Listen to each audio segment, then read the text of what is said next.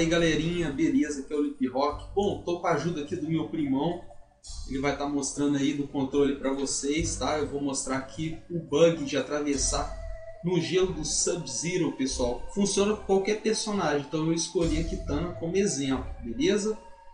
Então vamos lá, rapaziada. Eu vou mostrar para vocês como funciona, tá? E depois eu vou explicar passo a passo. Bom, vou mostrar aqui meu controle, certo? Cima, baixo, esquerda, direita, soco alto, soco baixo, chute baixo, defesa, chute alto e corrida. Eu estou utilizando aqui o hitbox.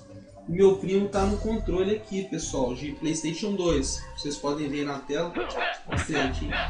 Lá, Beleza? Para vocês verem que não tem maracutaia. Então vamos lá, pessoal. Olha só, eu vou fazer o movimento, tá? Olha lá, ó. Atravessando o gelo do Sub-Zero. Como que funciona isso, pessoal? Se vocês fizerem normalmente, segurando a defesa frente, ó, segurando frente de defesa, ele não vai. O que, que você tem que fazer? Segurar a defesa, o frente, e ao mesmo tempo vai funcionar assim, ó, você solta o dedo médio, aperta com o indicador e solta o indicador e volta para o dedo médio. Então fica médio, indicador e médio.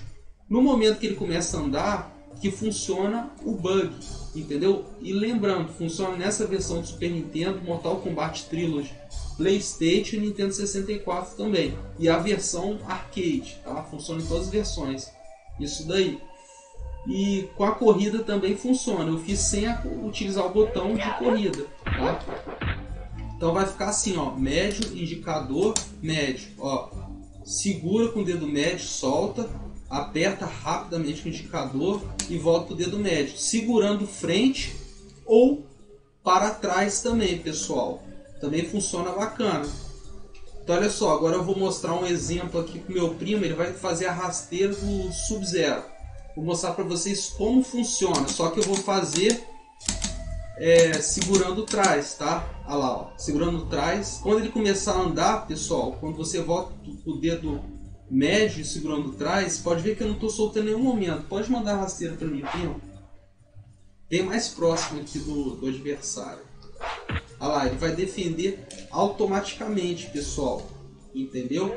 Então esse daí é o bug de atravessar, né? Ele defende qualquer coisa e ainda atravessa o gelo do Sub-Zero.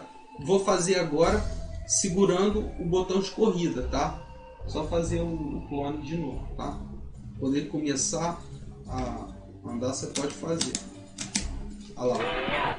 Viu, pessoal? Utilizando aqui com a corrida. Bom, é, esse foi o tutorial de hoje, pessoal. Espero que vocês tenham gostado. Agradeço aí ao meu filho pela participação, por ter me ajudado aí, tá? A mostrar isso a vocês. Então, pessoal, deixa o like, se inscreva no canal, beleza? Então, até o próximo vídeo, até o próximo tutorial. Até a próxima live aí. Valeu, tamo junto, hein, galera? Fui!